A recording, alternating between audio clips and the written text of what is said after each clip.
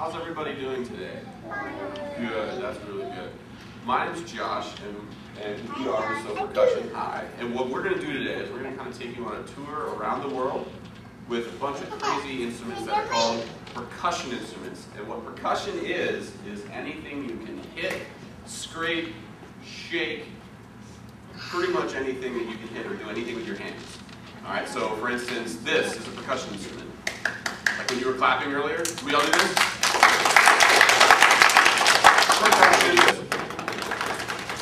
Percussion. We do this. Percussion. That's great. So we're going to play a piece that is was written specifically for two people clapping their hands. It's called clapping music by a good friend of ours named Steve Reich. Can we all say Steve Reich? Steve Reich.